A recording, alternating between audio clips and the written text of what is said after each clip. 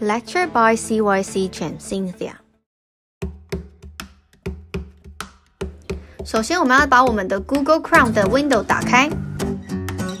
有时候我们的私人账号是没有办法登录我们的教室，所以呢，我们要选择 Guest Mode 访客模式。访客页面启动之后呢，在我们的网址列打上 meet.google.com。我们就能进入到 Google Meet 的页面，在这里我们就可以输入我们的课堂代码 Class Code 在这边，然后我们就可以按 Join。进入之后呢，记得要帮你的麦克风还有你的 Camera 按上 Allow，让我们的课堂可以使用。然后在这里输入你的名字，好，这样我们老师才会知道是谁登录到教室里了。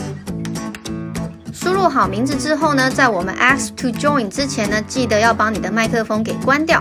这样子我们就可以进入到我们的教室，然后我们的视窗就会开始 loading，这样子我们就成功进入到教室啦。